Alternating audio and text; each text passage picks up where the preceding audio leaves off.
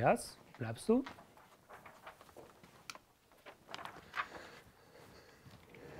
Oh. Ja. Ich hatte noch ein paar Dinge zu erledigen. So, jetzt sind wir aber soweit. Schön, haben wir jetzt ein Licht.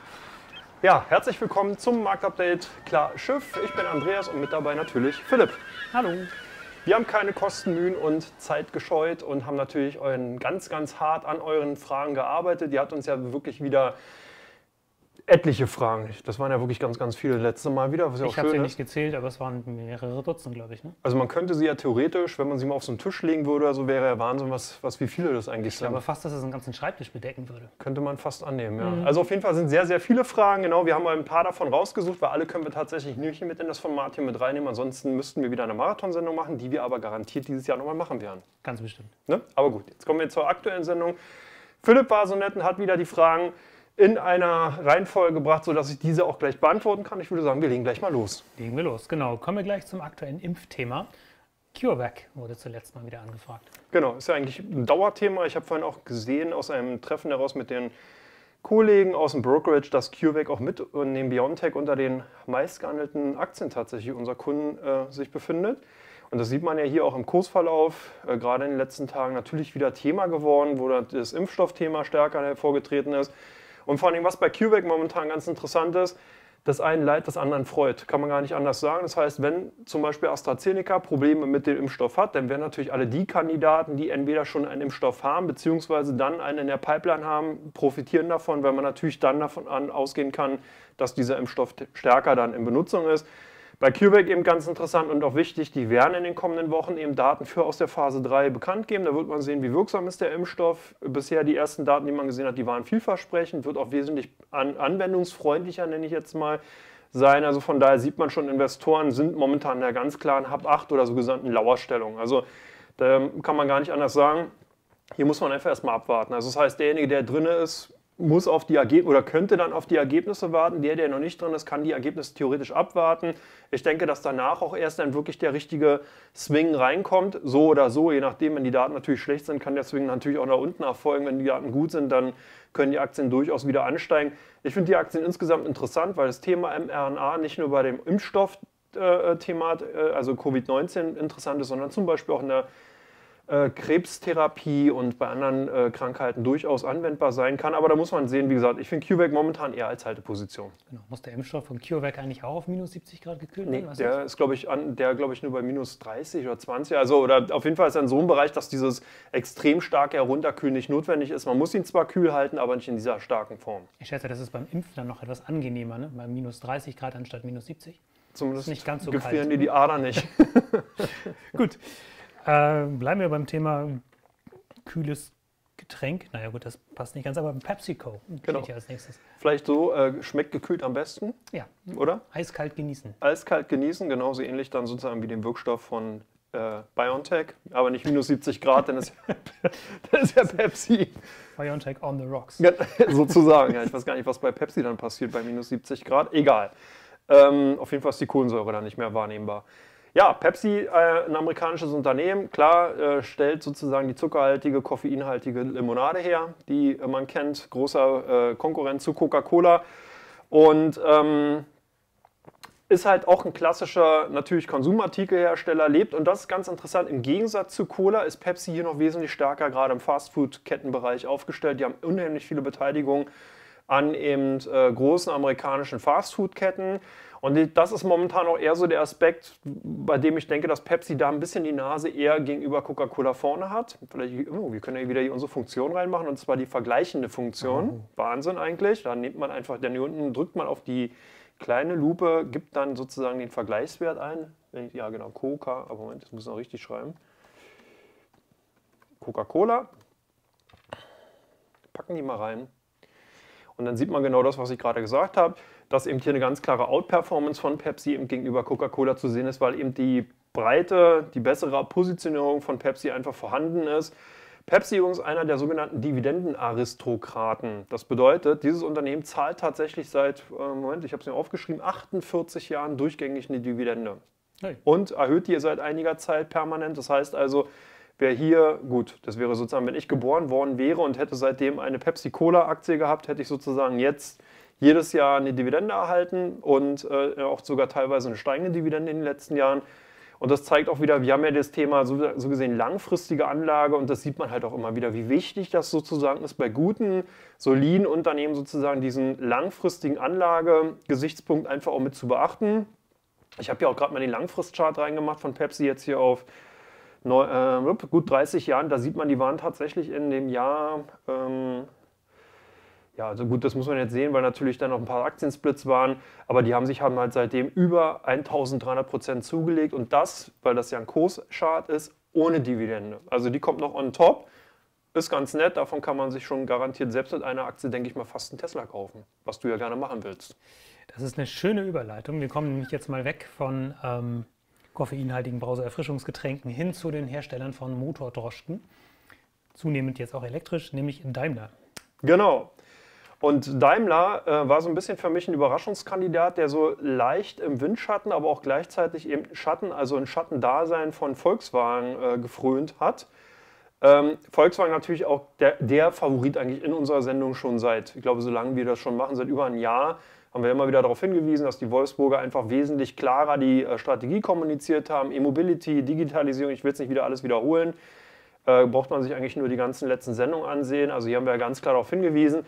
Und Daimler hat eben wirklich auch in, gerade im letzten Jahr, im Covid-Jahr, wenn man es so will, ganz klar darauf gesetzt. Die haben sich eben auch, haben es erkannt, okay, man muss da wesentlich stärker in die Nische reingehen. Nun ist man hier natürlich im Oberklassebereich ein bisschen behiebiger unterwegs. Aber man macht es eben, man hat eben wirklich jetzt die Strategie ausgerichtet. Es gibt sogar die erste S- oder beziehungsweise die S-Klasse, also deren wirklich Flaggschiff-Modell. Also mit, mit der S-Klasse verdient Daimler tatsächlich das meiste Geld, weil die eben am stärksten nachgefragt wird. Die will man halt auch eher in Richtung E-Mobility jetzt shiften und das ist natürlich, hat alle Investoren auch überzeugt, weil es eben eine klare Strategie ist und das zeigt es eben auch, wenn man in Aktienanlagen, äh, also in Aktien investiert, immer darauf achten, dass die Unternehmensstrategie wirklich klar kommuniziert wird, weil das auch ein gutes Zeichen fürs Management ist. Man weiß, was man tut und ist auch bereit, entsprechend diese Strategie umzusetzen. Und das sieht man bei allen erfolgreichen Unternehmen, ob es eben eine Amazon, eine Apple, eine Volkswagen jetzt ist, eine Tesla, die auch ganz klar Fokus eben auf Technologie hatten und nicht auf äh, Maßspal äh, nee, Spaltmaße oder was, also, ne, mhm. also auf Qualität, sondern erstmal gesagt haben, wir bringen Technologie rein und gucken dann, dass wir sozusagen qualitativ ein anderen, anderes Level erreichen. Und das ist halt wichtig, weil so eine Unternehmen einfach genau ihre Produkte in den Markt bringen können und dann auch Abnehmer finden. Daimler, denke ich, ist noch, da ist tatsächlich noch Platz drin. Also gerade wenn man sich das mal langfristig ansieht, äh, ist hier ähm, ist sicherlich noch, können die Aktien noch einige Prozent nach oben liegen und vor allen Dingen, was ich interessant finde, selbst auf dem aktuellen Niveau 4,3% Dividendenrendite, 8,5 KGV ist für einen Automobilwert überhaupt nicht teuer. Ähm, gucken wir uns dann den nächsten Wert an, die Siemens. Genau. Siemens auch interessant, auch wieder dahingehend interessant, eben um eine andere Strategie oder einen anderen ähm, Aspekt bei der Wertpapieranlage zu ähm, betrachten.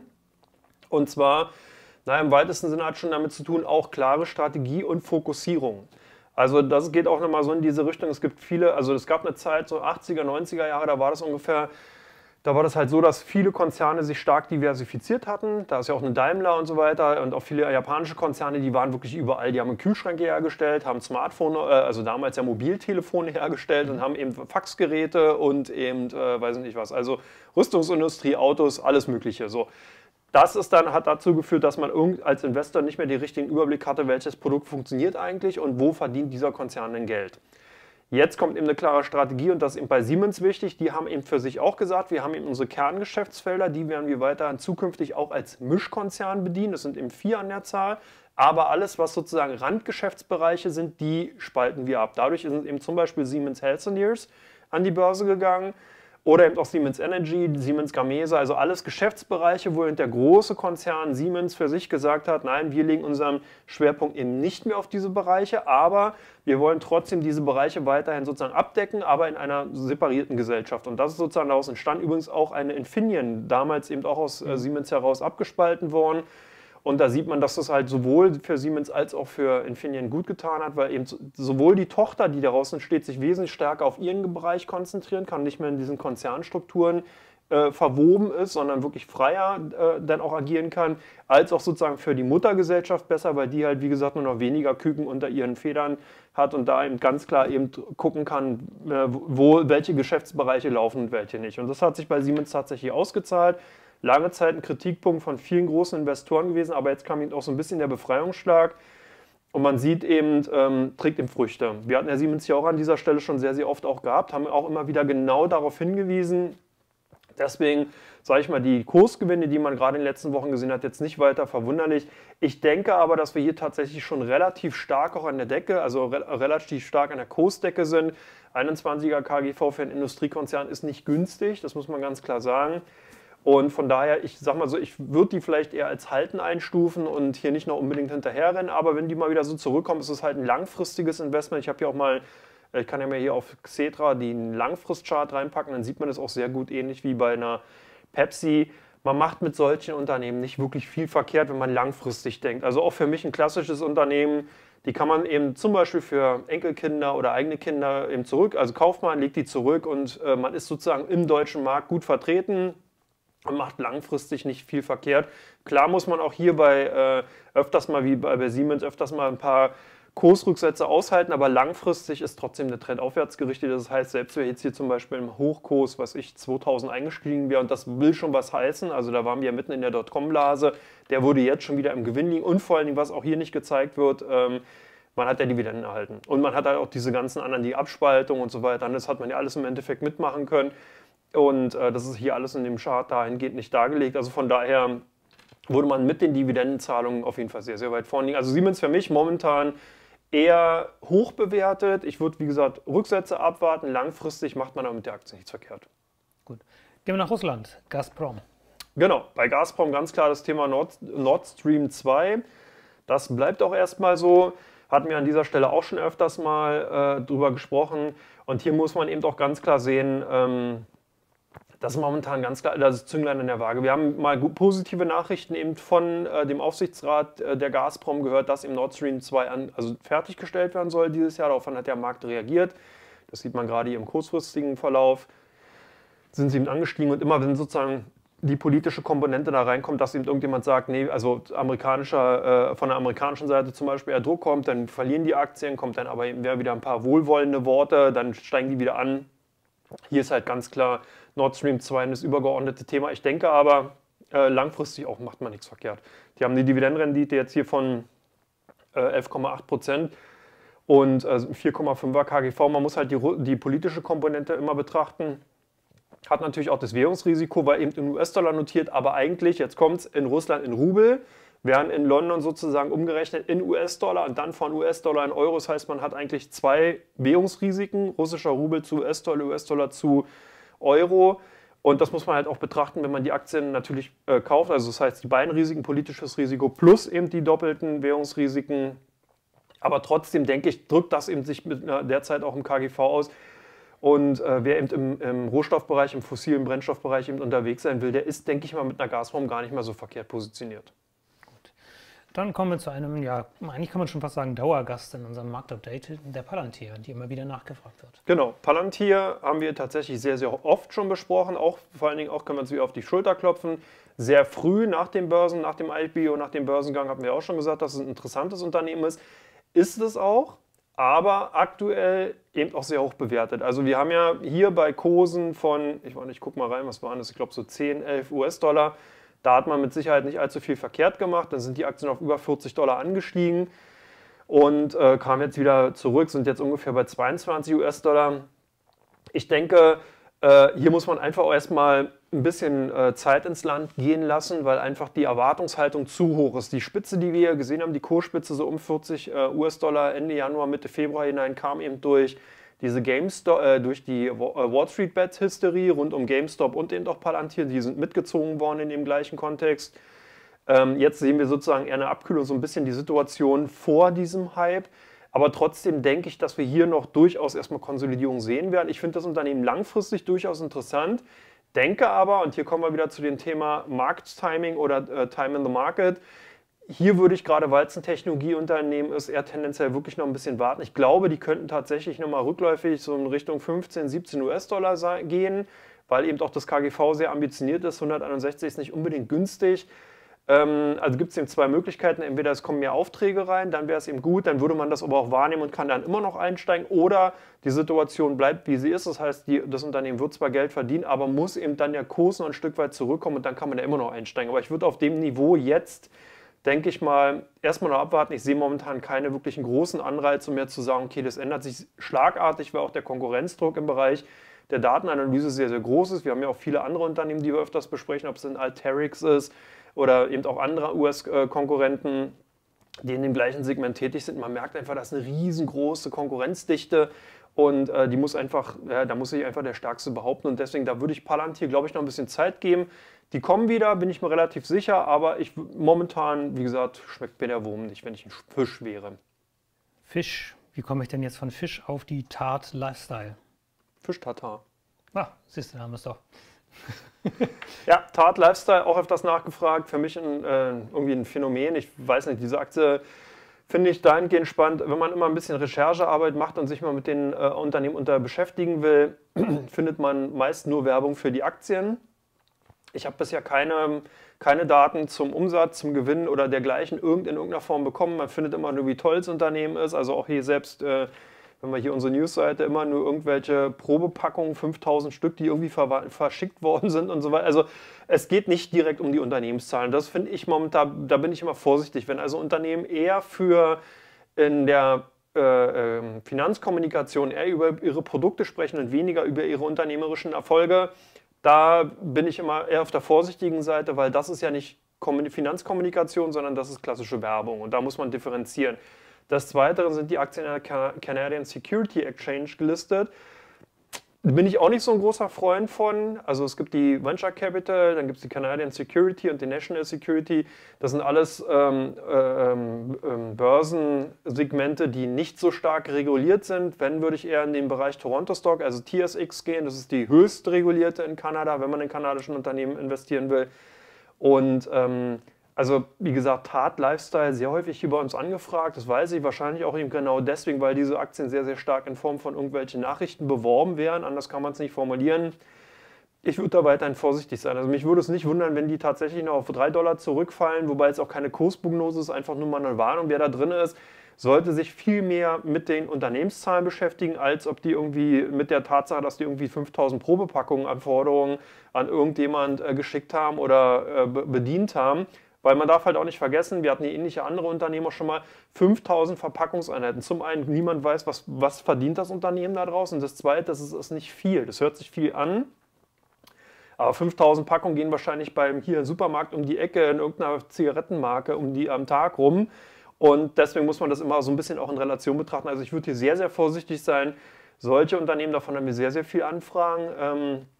Würde ich, wie gesagt, also ich äh, finde keine äh, Kaufargumente oder in irgendeiner Form Bewertungsargumente für die Unternehmung. Okay, jetzt sind wir so ungefähr in der Mitte dieses Zettels angekommen. Ich würde sagen, es wird Zeit für die Werbung. Werbung. Die neue Comdirect Marktupdate App.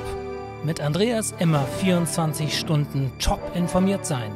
Andreas, wie steht der DAX heute? Der DAX steht bei 14.588 Punkten.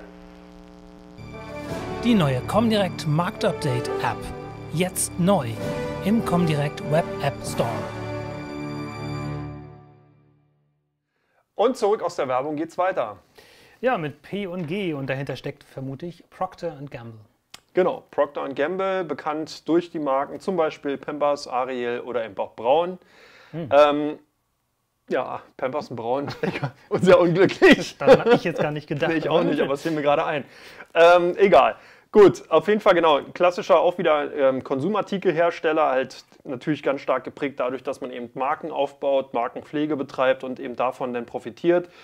Hat sich in der Vergangenheit auch bezahlt gemacht, ist so gesehen auch, wenn man so will, wir hatten vorhin Pepsi, ähnlich auch in der Dividendenaristokrat, also hier schon sehr, sehr lange auch mit Dividendenzahlungen unterwegs. Auch hier in den Langfristchart sieht man sehr schön, dass es sich eben durchaus lohnt, in solchen Aktien investiert zu bleiben ja, wer also hier in den 90er Jahren bei irgendwie umgerechnet, was sind das, 10 Euro eingestiegen wäre, der hätte jetzt eine Verdreizehnfachung, also 1300 Prozent plus Dividende, ganz wichtig. Und also von daher auch ein klassischer Vertreter, eben ähnlich natürlich auch wie eine deutsche Henkel. Das sind alles Unternehmen, die ähm, eben aufgrund ihrer starken Marktpositionierung einfach ein, ein, gutes Standing haben und eigentlich als Langfristinvestment zu sehen sind. Und so sind Procter Gamble auch. Ich finde sie momentan für einen Konsumartikelhersteller ambitioniert bewertet, was aber nicht heißen soll, dass man die jetzt unbedingt verkaufen soll, was eher bedeutet, wenn man sie hat halten, 2,4% Dividendenrendite ist ordentlich und ist okay. Ähm, das KGV relativiert sich natürlich auch immer von Jahr zu Jahr, wenn eben die Gewinne weiter anwachsen, was man eben bei den, äh, bei den Marken auch annehmen kann. Ähm, ich würde jetzt aber nicht unbedingt dahinterher springen. Das ist eher so ein Unternehmen, wo ich so denken würde, okay, wenn ich kurzfristige Anlage, äh, Anlageorientierung habe und äh, mir die Aktien auf die Agenda gelegt habe, dann würde ich vielleicht beim Kursrücksetzer mal äh, reinschauen, würde dir sozusagen als Watchlist-Kandidat nehmen. Wenn ich aber langfristig orientiert bin und sage, ja, ich möchte in den amerikanischen Markt investiert sein, möchte einen Einzelwert reinnehmen, dann ist man mit einer Procter Gamble sicherlich ganz gut aufgehoben. Da aber Perspektive natürlich auch wieder fünf bis zehn Jahren einfach wirklich langfristig denken. Man sieht halt auch natürlich, wie jede Aktienanlage äh, hat man Risiken, also auch die Kurse von Procter Gamble sind mal rückläufig gewesen, haben auch ordentlich teilweise abgegeben, wenn man sich alleine hier im Jahr 2000 ansieht, von 60 Dollar runter bis auf 30, also halbiert, aber danach trotzdem eben durchgezogen und äh, im positiven Bereich. Und das zeigt eben auch nochmal die Kraft und die Wirkung eben von langfristigen An Anlagehorizonten. Und da ist man bei so einem Unternehmen gut aufgehoben. Das heißt, kurzes Fazit, kurzfristige Anlage, eher äh, noch beobachten, mittellangfristig durchaus haltenswert, beziehungsweise dann, wenn man langfristig denkt, kann man die tatsächlich auch kaufen. Nächster Wert, der taucht auch immer mal wieder in diesem Marktupdate auf. Wahrscheinlich auch zu Recht, die Zalando. Genau, Zalando fand ich ganz, äh, oder finde ich auch interessant dahingehend, weil es eben ein Unternehmen ist, was auch nochmal so eine kleine Kehrtwende in der Unternehmenspolitik vollzogen hat. Erst ganz klar fokussiert auf den Verkauf von, wie soll man sagen, ja, First-Hand-Produkten, also äh, eigene Waren sozusagen in den Warenbestand aufgenommen und dann über die Online-Plattform Zalando eben verkauft. Die kamen ja eigentlich ordinär, originär mal aus dem reinen Schuhverkauf, haben sich dann immer weiter aufgestellt, Textilien und so weiter. Und haben jetzt aber, das ist ganz wichtig, den ähm, Wandel vollzogen, dass man hin zu einer Plattform gegangen ist. Das heißt, man hat eben zukünftig die Möglichkeit, selber Läden da aufzumachen. Second-Hand-Textilien werden mit aufgenommen. Das war auch immer wieder ein ganz, ganz großer Kritikpunkt in den letzten Jahren, dass man eben diese hohe Rückläuferquote hatte, die ja dann tatsächlich schwer verwertet wurde, weil Zalando nie genau sich dahin committed oder kommuniziert hatte, was man eigentlich mit diesen ganzen Rückläufern macht. Jetzt hat man eben diese großen Stores und auch diese Zweitverwertung, sozusagen, also Secondhand-Labels oder Secondhand-Verkaufsmöglichkeiten. Und das hat einfach auch nochmal natürlich einen ganz neuen Horizont eröffnet. Langfristig interessant, ähm, kann man ganz klar sagen, ist natürlich ein unheimlicher Profiteur durch, die, äh, durch den Paradigmenwechsel, den wir in den letzten Jahren gesehen haben, weg von dem also analogen Handel, wirklich rein in die digitale Welt, in den Online-Handel. Ähm, davon profitieren natürlich Unternehmen wie eine Zalando ganz, ganz klar und ganz, ganz klassisch. Und ich denke, dass dieser Trend ist auch nicht aufzuhalten. Hier rechne ich aber erstmal damit, dass man erstmal seitwärts laufen wird, weil man eben doch diesen starken Kursgewinn hier alleine jetzt im Tief von ungefähr 30 Euro bis auf zuletzt über 105 Euro, die, der muss verdaut werden. Das ist ganz normal. Das heißt, Investoren warten jetzt darauf, dass die Annahmen, die man eben in die Aktien hatte, durch die Unternehmenszahl belegt werden. Dadurch, dass viele Investoren drei, sechs bis neun Monate Sichtweise haben, kann man also sagen, dass jetzt vielleicht nochmal so die nächsten drei Monate eher so eine Seitwärtskonsolidierung sein wird. Und wenn dann die Erwartung sozusagen bestätigt wird, dass man dann davon ausgehen kann, die Bestätigung ist da, Investoren gucken dann nach vorne und fangen dann an, halt die Aktien, wenn die Erwartungen erfüllt werden, wieder zu kaufen. Bis dahin wird man erstmal sehen, ob man sozusagen quasi richtig liegt oder nicht. Und so ist vielleicht auch mal ganz interessant, wie denken institutionelle Investoren, die kaufen, also die haben ja auch nur, man hat ja sozusagen nur begrenzte Liquidität. Ne? Also so ein Fondsmanager, ein institutioneller Investor, ein Vermögensverwalter, der hat halt eine bestimmte Summe, ein Portfolio und davon kann er einen bestimmten Anteil nur in einem Unternehmen anlegen. Das bedeutet, wenn er seine Quote dann erfüllt hat, also seine Position aufgebaut hat, dann kauft er nicht unendlich nach, sondern je nachdem, wie sich das Gesamtportfolio entwickelt, wie viel Liquidität neu hinzufließt, kann er natürlich dann auch die Bestände ausbauen. Deswegen ist ganz wichtig, wie ist die Denke von so einem Investor. Der guckt natürlich genau darauf, er hat eine Erwartungshaltung, wenn die erfüllt wird, dann kann es sein, dass eine sogenannte Neuallokation stattfindet. Das heißt also, er guckt sich die Positionsgrößen an, die er in seinem Portfolio hat, zum Beispiel exemplarisch von der Zalando, wenn er seine Annahmen bestätigt findet und vielleicht von einem anderen Unternehmen nicht, dann gibt es so eine Neuallokation. Das heißt, das andere Unternehmen wird eher reduziert und so ein Unternehmen zum Beispiel würde dann aufgestockt werden und so kommen sozusagen auch Analysten dann meist mit ihren Ratings raus. Also nur mal so für denjenigen, der sich dafür interessiert, wie, wie, was passiert da eigentlich, wenn ein Upgrade kommt, ein Downgrade, wenn sogenannte Reduce Ratings rausgegeben werden. Das, ist, das steckt sozusagen genau dahinter, dass man immer gucken muss, was für eine Erwartungshaltung hat man, wurde die erfüllt und was für Konsequenzen folgen daraus. Also von daher jetzt in diesem Fall wäre das sozusagen eine klassische Hold-Position. Also Investoren warten jetzt erstmal, äh, würden vielleicht Perspective Buy, also gucken perspektivisch, dass man die dann eventuell kauft, aber erst dann, wenn die Bestätigung kommt. Na schön. Lufthansa. Ja, bei Lufthansa sieht es, glaube ich, erstmal so aus, dass wir hier auch erstmal seitwärts laufen werden. Das heißt, hier sehe ich auch erstmal wenig Argumente dafür, dass wir wirklich weiter diesen, ja, diesen Kursanstieg sehen, den wir zuletzt auch ähm, hier beobachten konnten. Dazu ist einfach das Umfeld noch nicht da. Ähm, selbst wenn die einen oder anderen jetzt schon nach Mallorca fliegen können, ist einfach die, ähm, die also das alte Geschäftsmodell, worauf man aufgebaut hat, das hat, ist halt noch nicht da. Man ist halt in Masse reingegangen. Ne? Also man hat halt früher waren die Fluglinien halt so aufgebaut, dass man eben Lin äh, Fluglinien oder ähm, Verbindungen hatte, Flugverbindungen hatte, wo man sehr, sehr hohe Margen hatte. Das waren meist die Interkontinentalflüge, das heißt Richtung Europa, Amerika oder Europa, Asien. Oder eben auch Amerika, Asien, also alle die Kontinente miteinander verbunden hatte. Da war halt richtig, richtig auch Marge dran. Äh, damals hat man vielleicht auf einen Flug von Deutschland nach Amerika durchaus mal 1000, 1500 Mark noch bezahlt. Das ist ja heute alles undenkbar weil, und das ist ganz wichtig, das ist ein Massengeschäft geworden. Das heißt, durch die Billigfluglinien, Ryanair, EasyJet und so weiter, ist natürlich das Geschäft, sind die Margen runtergegangen, gerade was in, inter, also, ähm, Interkontinentalflüge angeht. Hier ist es ja teilweise so, dass man für einen Flug weniger bezahlt als für ein Taxi von der äh, Wohnung zum Flughafen. Und das führt natürlich dazu, Du musst dann halt sehr, sehr viele Passagiere einfach durchschicken, um eben sozusagen so einen Flieger voll zu kriegen und mit diesem vollen Flieger dann auch immer wieder hin und zurück. Also teilweise ist es ja tatsächlich so, dass diese Maschinen ja noch nicht mal mehr die Motoren ausgemacht haben. Der Flieger kommt an, der eine oder andere hat es schon mal beobachtet, steht tatsächlich an dem Gate, die Leute steigen aus, dann wird der schnell durchgewienert, also von so einer Putzkolonne. Dann kommen die nächsten rein, die machen eigentlich einen Motor aus und zack, die Maschine fliegt schon wieder zurück. Also die ist ständig sozusagen in Bewegung. Und so haben die Fluggesellschaften ihr Geld verdient. Dadurch, dass das jetzt durch die Corona-Krise nicht geht, müssen diese Geschäftsmodelle neu umgekrempelt werden. Gibt es nur zwei Wege, Preise erhöhen. Dann ist die Frage, nehmen die Kundschaft, nimmt die Kundschaft das an und vor allen Dingen, wie lange ist das möglich? Also sprich, kommen dann nicht doch wieder die Billiggesellschaften, wenn sie dann wieder können und drücken sozusagen vorzeitig genau auf diese Möglichkeit drauf. Die zweite Möglichkeit ist dann natürlich wieder mehr zu fliegen, mehr Leute reinzukriegen, aber das geht ja momentan nicht, weil ja eben die Restriktionen da sind. Und deswegen kann man sich halt schon selber jetzt auch schon ausmalen, wie lange es dann noch dauert, ehe solche Fluggesellschaften tatsächlich nachhaltig wieder in die alte Situation zurückkommen. Und deswegen bin ich bei den Fluglinien, Fluggesellschaften generell sehr vorsichtig, auch wenn man natürlich so eine Hoffnungsrallies öfters mal sieht, das ist nicht unüblich. Hat aber eher damit zu tun, dass viele ihre Short-Positionen, die sie halt irgendwann mal eingegangen sind, wieder zurückkaufen dann steigen Aktien eben auch mal. Aber ich sehe hier momentan noch keinen Grund wirklich dafür, dass wir jetzt zum Beispiel in Richtung 15 Euro ansteigen, also wieder auf das Vorkrisenniveau zurück, weil einfach die Situation, die fundamentale Lage oder die Situation insgesamt ist dafür nicht gegeben. Deswegen würde ich bei den Aktien momentan, äh, würde, würde ich die einfach nicht kaufen. Gut.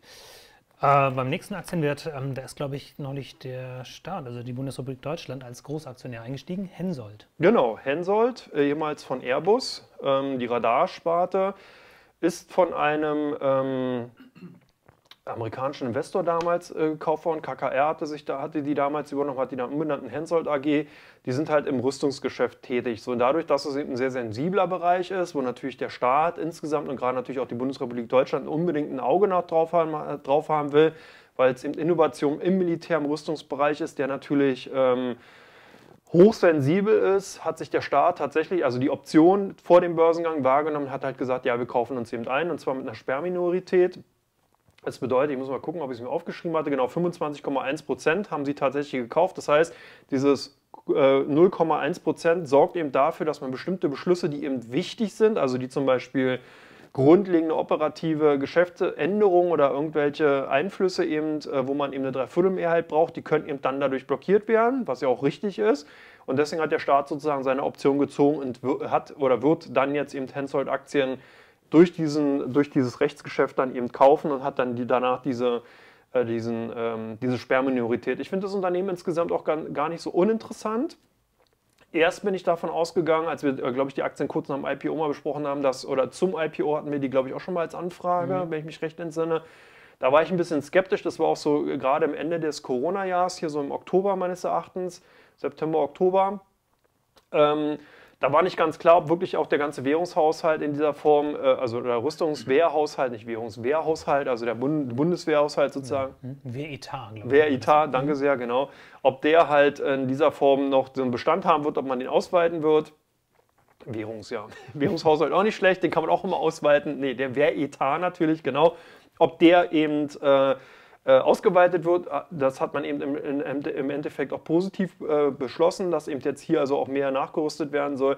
Und da kommen natürlich auch ähm, gerade in der EU dann eben Unternehmen wie eine Hensoldt äh, in Betracht. Da werden dann eben zum Beispiel aus Frankreich oder eben anderen europäischen Staaten eben entsprechend die Aufträge verteilt. Und Hensoldt hatte da auch sehr, sehr viele in letzter Zeit bekommen. Also das heißt, ich denke, dass der Konzern ganz gut positioniert ist. Die Bewertung momentan finde ich für einen Rüstungskonzern 11,2 KGV nicht teuer. Das bedeutet ja, dass das Wachstum, wenn es sozusagen in den nächsten elf Jahren auf dieser Position bleibt, hätte man mit dem Engagement, wenn man es jetzt eingeht, sozusagen sein Investment allein durch das operative Geschäft wieder äh, eingenommen, also wieder zurückbekommen. Und das ist halt ganz wichtig, um mal zu verstehen, dass, dass dann sozusagen die Aktien, wenn man die jetzt kauft, in elf Jahren sozusagen allein durch das operative Geschäft, durch bis, was bis dahin entstanden ist, dann gedeckt ist. Also dann hat man sozusagen sein Investment allein durch die operativen Tätigkeiten wieder zurückbekommen, ohne Dividende. Und äh, das steckt sozusagen hinter den KGV. Und das ist halt ganz interessant, weil man nämlich davon ja immer ausgehen kann, dass ja sozusagen jedes Jahr natürlich eine Neubewertung stattfindet. Das heißt, es ist wie so eine Art äh, Indikation, Schlüsselindikation dafür, wie halt, äh, wie, wie kurz, also wie die Haltedauer des aktuellen Investments ist, damit man seinen Einsatz wieder zurück hat. Und für, wie gesagt, 11 für einen Rüstungskonzern, für ein relativ solides Geschäft, das hört sich jetzt zwar ein bisschen makaber an, aber es ist ja nun mal so, äh, ist nicht teuer und von daher denke ich, hat es, äh, kann man die Aktien tatsächlich äh, perspektivisch gerade so auf diese Sichtweise fünf bis zehn Jahren durchaus ins Depot legen. Man hat eine gute, also eine nette Dividendenrendite, 1,75 Prozent ist zumindest momentan so auf äh, Inflationsniveau. Ich denke, die werden auch noch angehoben werden. Und wie gesagt, ein 11er KGV für einen Rüstungskonzern ist nicht teuer. Also von daher, ich finde die Aktien auf dem aktuellen Niveau durchaus interessant. So, dann kommen wir zu. Ja, bei dem Unternehmen weiß ich gar nicht, ist es ein Unternehmen oder sind es zwei? Nano One Materials oder Technologies? Und oder? Keine Ahnung. Äh, ich würde sagen, und oder Nano One Materials heißt die Gesellschaft, die dann Nano One Technologies vertreibt. Ja. Äh, ähnliches Unternehmen, so ein bisschen würde ich in die gleiche Kategorie packen wie die Tat Lifestyle. Ähm, die beschäftigen sich mit äh, Lithium-Ionen-Kathoden, äh, also auch in dem Bereich der ähm, E-Mobility-Batterieherstellung und ähm, sind an der Venture Exchange, also ein kanadisches Unternehmen, gelistet, haben momentan natürlich profitieren von diesem Boom in, diesem, in dem Sektor. Und da fehlen mir also auch eher so ähm, die ähm, ja, Zahlen zum Unternehmen, äh, also Umsätze, Gewinne und so alles fehl am Platz. Man bekommt da wirklich fast keine Informationen. Also ich habe keine gefunden. Man bekommt halt nur äh, äh, Jubelnachrichten darüber, was man wieder für neue Verträge abgeschlossen hat. Aber es wird nie wirklich was Handfestes mal auch ähm, äh, dahingehend äh, publiziert. Und das ist immer für mich so, eine, so ein, auf ein Gefahrenzeichen, wo ich von ausgehe, wenn ich in diesem Sektor unterwegs bin, dann würde ich wirklich auf Unternehmen setzen, die tatsächlich halt auch wirklich Zahlen vorlegen, weil das ist das, was ich als Investor haben will. Natürlich ist Fantasie und, äh, äh, und ob die, also oder ob ähm, ja, Zukunftsperspektiven schon wichtig, aber ich muss die ja bewerten können. Also das heißt, wenn ich keine Zahlen habe, kann ich nichts bewerten. Dann hilft es nicht, wenn jemand sagt, okay, wir haben da eine tolle Technologie. Die Frage ist, wird die angenommen? Mit welchen Partnern hat man die Verträge geschlossen? Und ganz wichtig, was wird daraus auch wirklich monetär umgesetzt und kann umgesetzt werden? Und eins darf man nicht vergessen, wir haben auch gerade in dem Zusammenhang mit zum Beispiel Volkswagen und wir haben ja auch schon öfters über E-Mobilität gesprochen, ist dieses Batteriethema ist nicht einfach nur so ein Thema von wegen, ich setze mich mal in irgendein Kellerloch zusammen und baue da selbst eine Batterie zusammen. Das ist wirklich ein sehr, sehr großes Thema. Da ist man im Bereich der Gewährhaftung drin, mhm.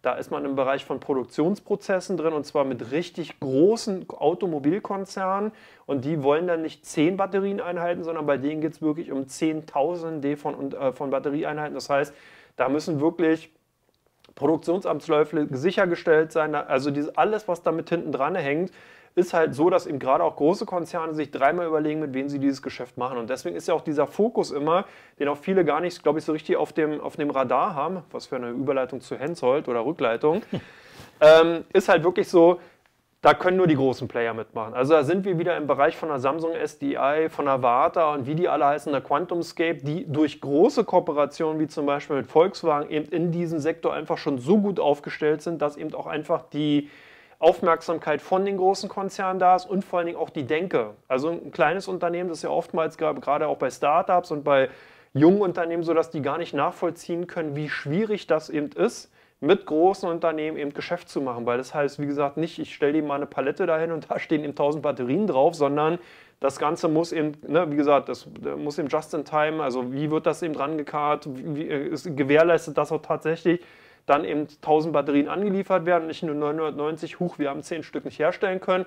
Das sind alles Sachen, die spielen da wirklich eine Rolle und deswegen bin ich bei diesen kleinen Unternehmen immer eher vorsichtig, weil genau daran hapert es. Also es gibt ganz viele Unternehmen, die haben bestimmt eine irre interessante Technologie, aber die großen Hersteller sagen eben, ja, alles gut und schön, aber wir brauchen eben Beständigkeit, wir brauchen eben die Technologie, mit der wir eben auch wissen, dass das eben auch in fünf oder in zehn Jahren noch eben vorhanden ist. Und deswegen arbeiten die dann eben meistens auch mit größeren Partnern zusammen. Das gleiche Thema haben wir übrigens auch im Wasserstoffsektor sehr, sehr häufig gehabt gibt es ganz viele tolle Unternehmen, die irgendwelche Ideen haben, aber trotzdem werden die Großen das Geschäft machen. Also eine Plug Power, eine ITM, also alle die, die wirklich einen Namen haben, die große Kooperationen haben, die sind eben vorne mit dabei und alle anderen, oder eine Ballard Power und alle anderen fallen nimmt erstmal hinten runter, weil eben Unternehmen sagen, ja, ist gut und schön, aber wir wissen halt nicht, ob du in fünf Jahren noch existent bist. Und deswegen können wir mit dir jetzt keine Verträge machen. So ähnlich ich es auch bei der Nano One Materials. Wer dabei ist, soll dabei bleiben, soll aber auch im Endeffekt dann sehen, dass man da ein Risiko trägt, ein ganz klares. Und zwar dieses Skalierungsrisiko. Idee ist gut, aber ob die Skalierung wirklich umsetzbar ist, bleibt ein ganz großes Fragezeichen hinterzusetzen. Auf jeden Fall mit Stop-Loss agieren, ganz wichtig. Also hier ist nichts mit Hoffen, das ist an dieser Stelle ganz falsch. Dazu habe ich schon viel zu viele Unternehmen aus ganz, ganz vielen Sektoren gesehen, die einfach vollends gegen die Wand gefahren sind. Die gibt es teilweise nicht mehr. Äh, da haben Anleger wirklich 100% ihres Kapitals dann verloren. Muss nicht sein, deswegen hier auch wirklich mit Stop-Loss agieren, geht die Fantasie nicht auf hilft kein Hoffen mehr, dann wirklich auch rausgehen aus dieser Position und nicht warten, ob Godot irgendwann kommt. Gut. Der kam ja nie, oder? Äh, ich habe das Stück nie gesehen, ich bin immer voreingeschlagen. ähm,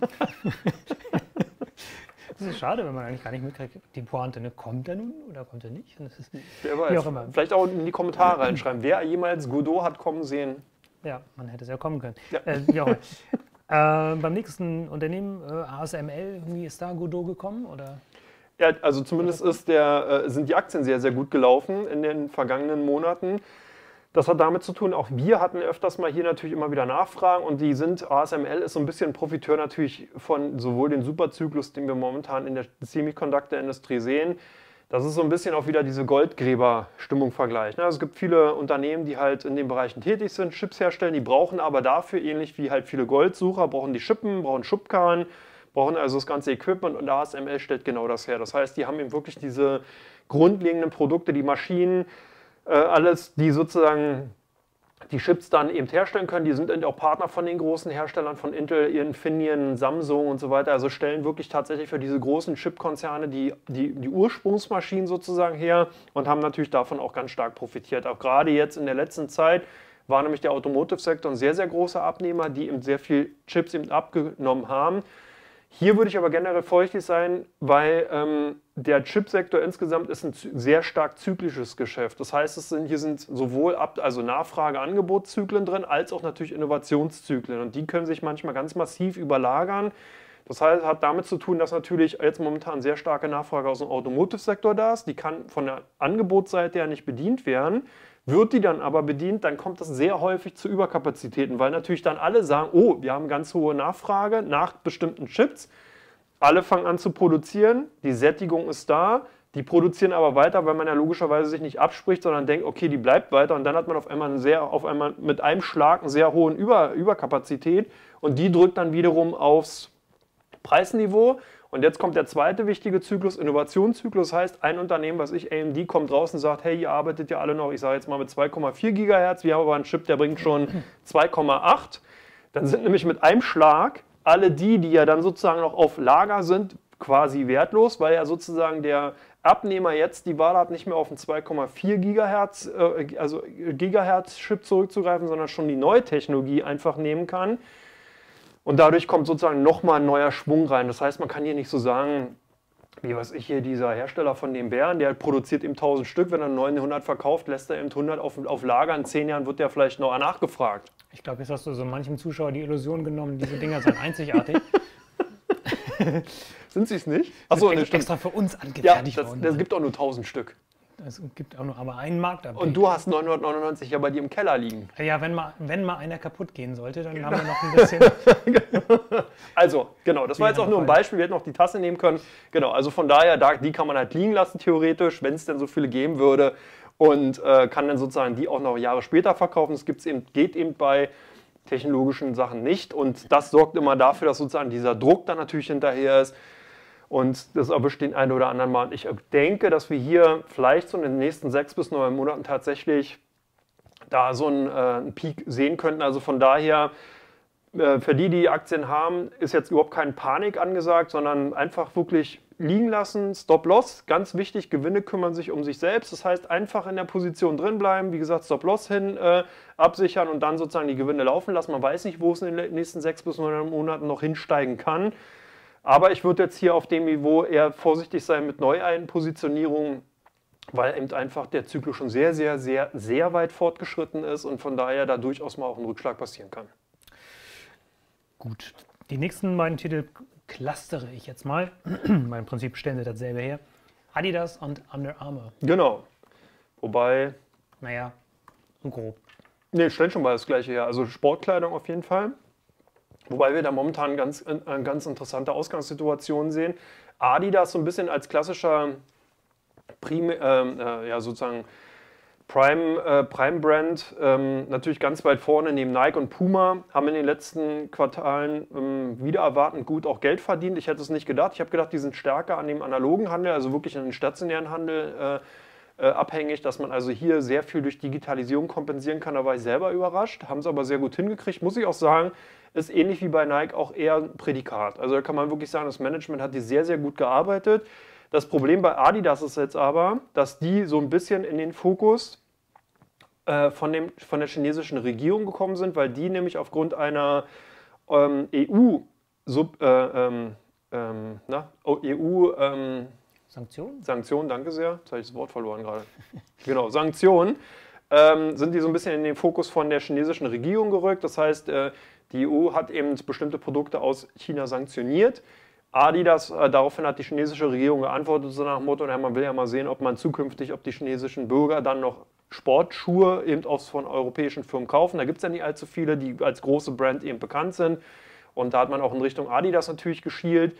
Und äh, viele andere Textilunternehmen, HM, sind auch noch unter Druck gekommen in dem Zuge. Und äh, das ist momentan das Problem, weil Adidas einfach einen sehr, sehr wichtigen Absatzmarkt in China hat. Das hat natürlich damit zu tun, dass da eben ein Mittelstand momentan am Entstehen ist, die natürlich auch sehr stark auf Markenbewusstsein aus sind und äh, sozusagen dann natürlich auf die Produkte von Adidas zurückgreifen. Äh, mir fehlt hier so ein bisschen momentan die weitere Wachstumsperspektive, weitere Wachstumsfantasie. Ich glaube, ähm, hier muss man auch ein bisschen vorsichtig sein. Ich würde die aber momentan noch nicht ganz abschreiben. Ich würde aber hier tendenziell eher auch abwarten, ähm, bis man hier äh, aus dieser Seitwärtskonsolidierung, die sich hier schon seit einiger Zeit einfach auch andeutet, rauskommt. Und das ist dann tatsächlich erst dann der Fall, wenn die sportlichen Großereignisse in ihrer eigentlichen Pracht auch wieder stattfinden können. Also es, aus meiner Sicht heraus macht es keinen Sinn, wenn es die Olympiade per äh, äh, Videokonferenzsystem irgendwie übertragen wird. Das ist nicht dieses Look and Feel, wo man eben anfängt und sagt, okay, ich kaufe mir jetzt ein Trikot von einer bestimmten Mannschaft oder einen Sportler oder die Schuhe eben, weil das nicht dieser, diesen Beißreflex hat, sondern tatsächlich dann, wenn eben auch wieder die Fußball-WM oder Olympiade eben stattfindet, Leute da sind, man dieses ganze Feeling eben hat, dann werden auch sol solche Firmen wieder davon mehr profitieren. Also ich glaube, da fliegt tatsächlich eher der Deckel oder der Korken dann weg, wenn wir tatsächlich diese Restriktionen nicht mehr haben. Das könnte so Jahresende 2021 äh, dann 2022 sein. Ich glaube, dass wir hier auch eher wieder so ein Hin- und Herlaufen sehen werden bei den Aktien von Adidas, also wie, wie es jetzt schon in den letzten vier, fünf Monaten angedeutet hat. Und ich sehe keine größeren Anlässe jetzt, um dass es eben aus diesem Bereich rausbrechen kann. Ähm, eher diese politische Komponente als Risiko mit 35er KGV. Also Adidas ist traditionell immer schon sehr hoch bewertet gewesen, das muss man sagen, weil die Wachstumszahlen und die Margen auch sehr hoch sind. Aber wie gesagt, mir fehlt da so ein bisschen der richtige Kicker. Gut, wie gesagt, haben sie gemacht, die Digitalisierung, das könnte zukünftig dann nochmal zusätzlich laufen, aber wie gesagt, dann, wenn eben diese Großereignisse wieder stattfinden und wenn sozusagen richtig auch zum Beispiel Bundesliga und diese ganzen Themen einfach wieder besser gespielt werden. Bei Under Armour sieht die Situation ein bisschen anders aus. Da haben wir nämlich das Problem, dass diese äh, Aktien in den letzten Jahren sehr stark an Wert verloren haben, weil sie eben ja, etliche Probleme hatten. Also auch äh, teilweise, da war auch die Schuldensituation äh, immer wieder Thema. Da sind eben auch viele äh, Bilanzierungsfragen aufgeworfen worden. Also da gab es dann auch mal Untersuchungen von der SEC und so weiter. Da sind die Aktien also auch ein bisschen unter Druck gekommen. Was nachher dann äh, natürlich auch ein Schall und Rauch aufgegangen ist. Also da ist nicht wirklich viel hinter gewesen. Man hat dann, glaube ich, auch mal eine Strafe gezahlt, also gerade was die Bilanzierung angeht. Aber es war jetzt nicht so, dass man wirklich von Betrug reden kann. Es war halt eher so eine äh, Unstimmigkeit, nenne ich es jetzt mal, was auch durchaus passieren kann, gerade bei Unternehmen, die zuvor sehr stark gewachsen sind. Da können wir auch mal einen Langfristchart sehen, dann sieht man auch ganz gut, was ich damit meine. Die sind also wirklich hier äh, fulminant von 2,30 äh, Dollar auf über 50 Dollar innerhalb von 5, 6 Jahren gestiegen, haben dann eben danach natürlich auch viel davon korrigiert. Da kommt es eben ganz klar darauf an. Ich glaube, dass wir hier wirklich tatsächlich eine Turnaround-Story bei Under Armour sehen können und werden. Aber auch hier ähnlicher Aspekt natürlich wie bei Adidas. Das heißt, Großereignisse in Amerika natürlich noch wesentlich mehr. Die Themen zum Beispiel äh, NBA, also Basketball, haben eben auch sehr viele Verträge, äh, viele Profis unter Vertrag bei Under Armour, dass man eben äh, American Football und alles, was damit zu tun hat, natürlich dann eben, dass diese Events wieder laufen, dass eben genau diese Kundschaft dann die Produkte na wieder nachfragt. Wenn das in der Form wieder stattfindet, dann denke ich, wird auch eine Under Armour weiter steigen können. Die haben bisher schon sehr gut performt, haben sich im äh, Kurswert schon verdoppelt. Ich glaube, es kann tendenziell weitergehen, aber auch hier für mich wirklich erst der Startschuss dann, wenn äh, wir dieses ganze Coronavirus-Thema einfach vorbei beendet haben. Okay, dann kommen wir jetzt zur letzten Aktie. Nicht zur letzten Frage, aber zur letzten Aktie hier auf diesem Papier. E.ON. Genau. E.ON finde ich ganz entspannt und ähm, auch äh, interessant, was da tatsächlich in den letzten Monaten äh, so ein bisschen passiert ist. E.ON äh, ist wirklich extrem lange seitwärts gelaufen. Also man hat so ein bisschen den Eindruck gehabt, die Aktien sind quasi vergessen worden und zwar durch das ganze ESG-Thema. Das Problem bei E.ON ist nämlich, dass die noch eine große Abhängigkeit durch Stromerzeugen mittels Atomkraftwerk haben. Mhm. Und äh, das führt einfach dazu, dass viele Investorengelder nicht in die Aktie reingegangen sind. Also man hat zwar schon geschaut, okay, in welche, wo kann man investieren, ist dann aber eher bei einer RWE hängen geblieben, eher bei, einer, äh, bei anderen Unternehmen, die eben stärker ihren äh, ENI die eben stärker in dem Bereich der regenerativen Energien äh, tätig sind und hat E.ON sozusagen äh, beiseite liegen lassen. Für mich eigentlich zu Unrecht. Also das Unternehmen ist interessant, wer jetzt ESG-Kriterien nicht verfolgt, ist bei dem Unternehmen sicherlich gut aufgehoben. Man hat diese ganzen Probleme eben aus diesem ähm, Atomkraftwerk, Rückbau oder beziehungsweise Ausstieg aus der Atomkernenergie äh, gut überwunden. Und ich glaube, dass wenn äh, hier sozusagen immer dieser, äh, dieser Konsolidierungsboden, den man hier unten sieht, so zwischen 10 und 11 Euro, genau wenn der mal verlassen wird, dann fliegen die Aktien wirklich richtig extrem, weil da wirklich ein extremes Nachholpotenzial ist.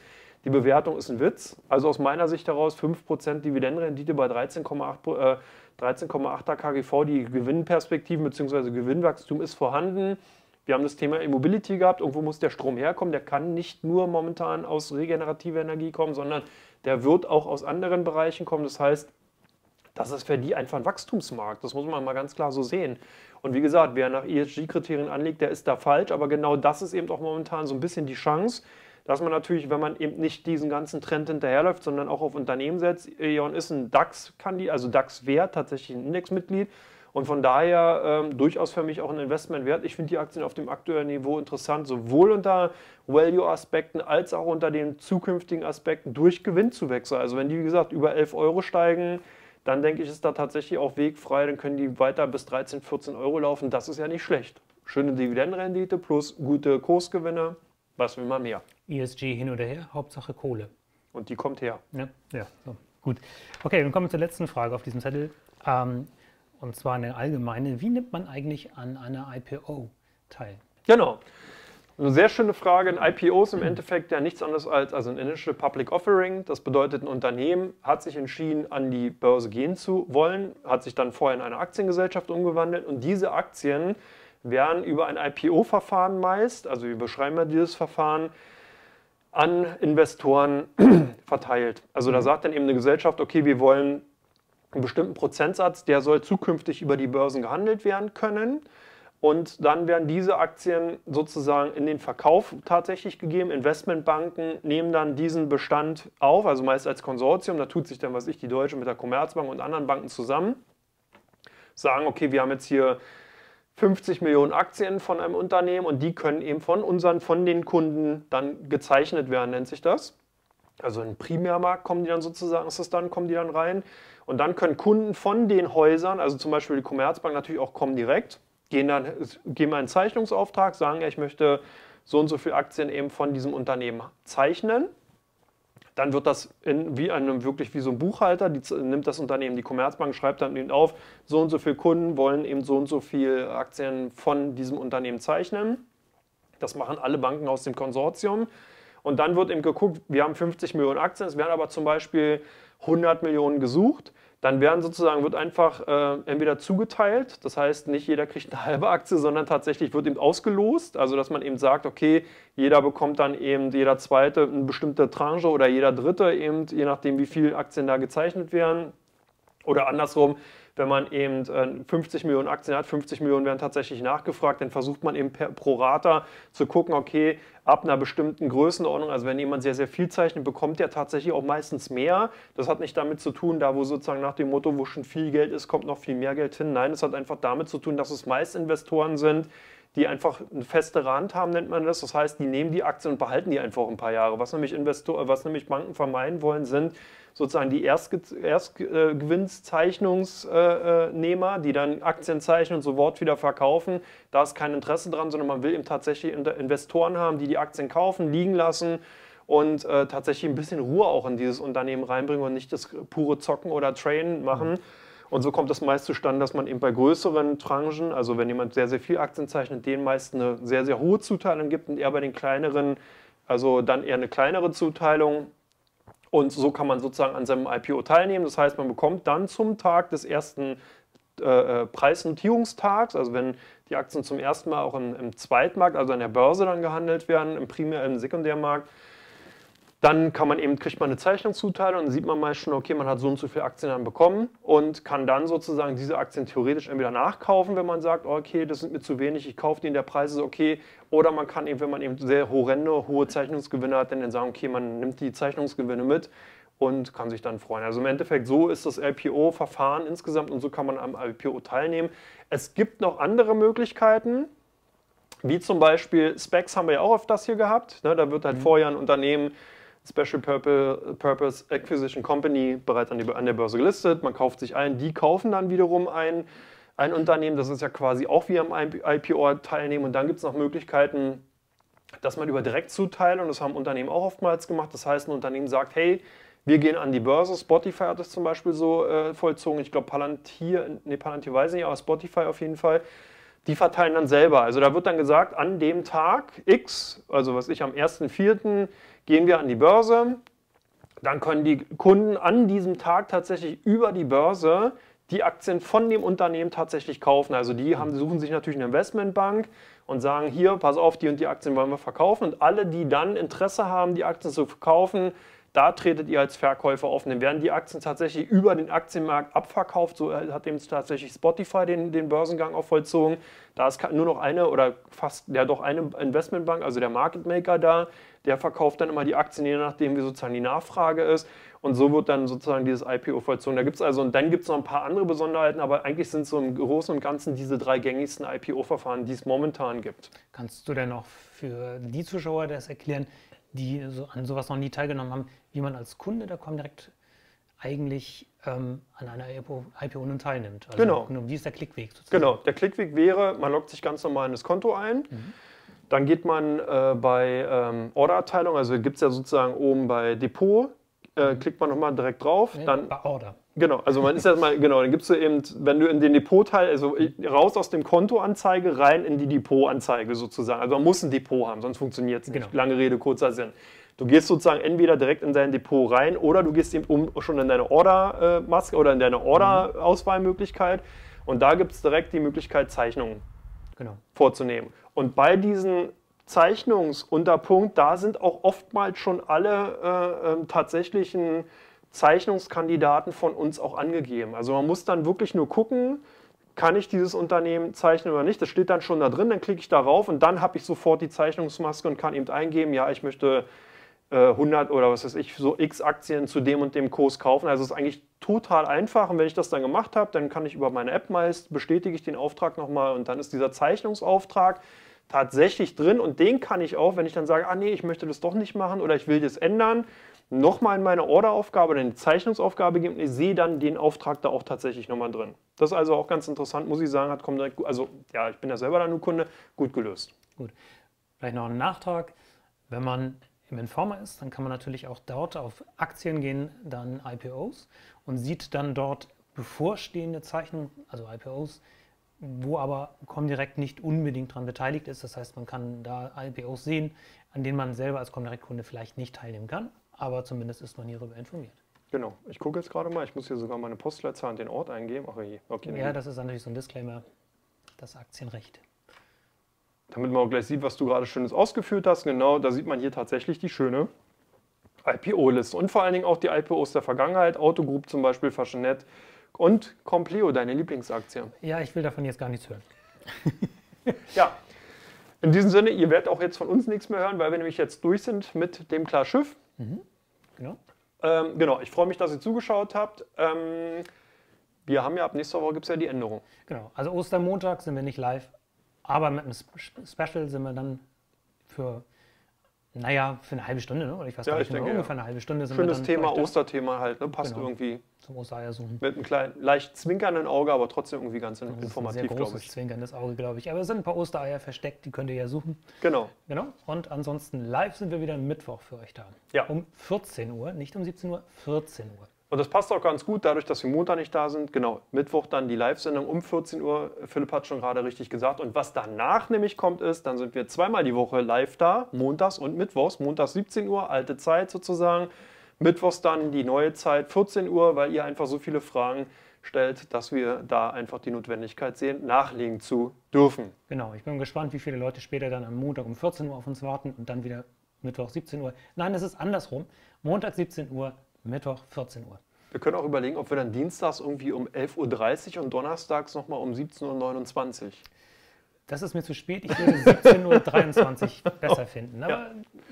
wir schauen mal. Wir schauen mal. Ich bedanke mich, dass ihr zugeschaut habt und wünsche euch ganz, ganz tolle Osterfeiertage im Kreise von Freunden, Bekannten und allen Menschen, die ihr so lieb habt, mit denen ihr auch zusammen sein dürft, wollt, könnt und müsst. Mit Maske und Abstand.